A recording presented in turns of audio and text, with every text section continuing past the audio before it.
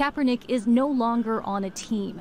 After leaving his $14 million contract with the San Francisco 49ers in March, every NFL team passed on the chance to sign him. Some analysts say it's simply because his athletic performance has faltered. I love to report the news, and then they said I made a mistake, right? U.S. President Donald Trump has also voiced his disapproval.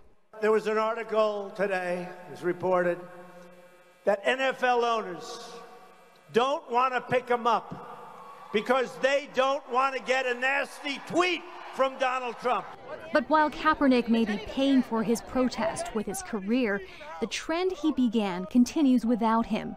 This week, Seth DeValve, a player with the Cleveland Browns, became the first white player to kneel during the national anthem. Kaepernick supporters are calling for a boycott of NFL games until a team signs him. But as the clock runs out, the chances are Kaepernick's protest was probably his final play.